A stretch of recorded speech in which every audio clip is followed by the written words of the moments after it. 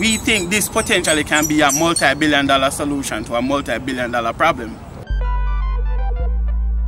It's called VT ExaCap Tube Model 1. VT ExaCap Tube, Tube Model 1. So it stands for Vehicular Tailpipe Exhaust Absorber and Capture Tube Model 1. The idea is I'm trying to capture the exhaust, right? So I'm trying to filter it and I'm trying to absorb the emissions from the exhaust itself to make it better for the environment. But not only that, inside the device there is actually a fan that actually tugs on the exhaust. So by tugging on the exhaust, it actually relieves the pressure from the engine and makes the smoke less contaminant for the environment and it saves the customer on fuel. Smoke normally would come out from the tailpipe and it just go up in the atmosphere. So this, it comes inside the device and it basically goes through a filtration process and then an absorption process. The filtration process is to remove what you call soot or the black components in it and then the absorption process is, is a reaction. It goes through different reactions in order to remove the carbon dioxide. Break it down. Break it down. Carbon dioxide and carbon monoxide particularly among some other gases.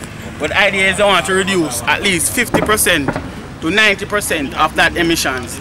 And then the final exhaust that comes out on the two side is free from carbon dioxide, carbon monoxide and soot. That's the idea. So you filter the exhaust and you're removing carbon dioxide. So this is actually a world's first invented right here in Jamaica. It's a team, is a the team is Consolidated Environment Research Laboratory and uh, I'm the one that put in the work in bringing it to this extent and I'm and I pitch with a team that basically help us to design how it would look. So this is that give you an idea of how the product would look. The maintain the idea is you have a product that is Oh, easily heavy, maintained. oh, oh, it's light. It's actually entirely plastic. And the components inside of it are made from used plastics. Particularly the filter. The filter is made from um, everyday bottles, grinded down and used to make what you call a sheet. And the sheet is rolled into a filter and sandwiched in between um, different absorption materials. So the components inside are entirely reusable plastics. Eh, There's a there's a filter right here, and then there is reaction chambers right here. So the idea is, as you are driving, exhaust comes in through the filter, and it goes into the different reaction chambers. And the reaction chambers basically every couple months, there's a solution that you need to top up. So you pull it, throw in a solution, close it. There will be a maintenance panel right here that you easily pull to change the cart to change the filter cartridge. And that's pretty much it. Person don't want to do anything else. Yeah, and when we'll basically have a bypass um, on this that whenever you feel necessary, you can just easily open that bypass and it will just bypass this and just exhaust just come out. So from a maintenance point of view, it has to be maintenance ready. That's what customers want. They do not want to bring it to the mechanic. They do not want it to be expensive. And they do not want like every month they have do something to it. They want do something to it every like two years. So that's pretty much what customers want. So that's where we are. How did this all begun? Alright, so it actually came with the idea in 2006 when I was in high school. Um, I was basically high school is sitting, that's Innswood High School. Innswood High School, right? So I was sitting in the, in the class and the teacher was teaching about um, the environment and effects and impacts on the environment with climate change. At the time, the, the, the, the word wasn't climate change at the time, it was global warming. So I asked the question um, why why we don't just capture the exhaust from the tailpipe and teacher said, well, no one has done it yet. And that inspired me to study chemistry. So I did a degree in chemistry at University of the West Indies.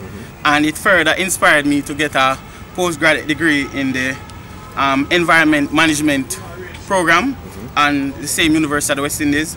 And basically it has just propelled me to, to do the necessary research to investigate how can I solve this problem and over a course of four years. So I've been designing this from 2016 Okay. and it's just last year I came to this design and I'm okay this is the minimum persons would buy this in, we surveyed the market persons responded they would actually buy this But okay. for the prototypes that we're selling this year um, we we basically looking beta testers to give away 70 free units. Free. free right. So basically we give persons the device use it give us a feedback. Take that feedback make some modification give you the device again. So if persons are interested they basically contact me and I will give them a device. We let them sign a disclaimer. And you basically go through the process of giving us feedback. And when it's finally ready for rollout overall they would be the first ones to get one of those devices we think this potentially can be a multi-billion dollar solution to a multi-billion dollar problem. Because we find some way to filter the exhaust, find some way to to put it through absorption to reduce the carbon dioxide. And we know that carbon dioxide is one of the main um, components in, in climate change. Jamaica, like most countries, are are basically in line of the direct hit from climate change. If we don't do something now about the problems hitting us now, not necessarily just waiting on new alternative energies. New alternative energies will come mainstream by 2050, but effects are now. What we're gonna do about 1 billion vehicles affecting the world now? That's my take on it. So I, my take on it, we need to come up with solutions that captures the problem. That's carbon dioxide emissions from vehicles, that's just one. You have carbon dioxide emissions among other gases from all kinds of in, in industries, but the vehicle particularly contribute 25%. 25% of emissions. So my take was to turn this not necessarily in just an environment saving device, but how can this benefit the driver off the vehicle? So the concept I came with, this this device will save the driver on fuel. Around 30% of fuels normally lost in the smoke. Every time you drive and you see some puff of black smoke, that's fuel, that's money going out of the tailpipe. So we save on that.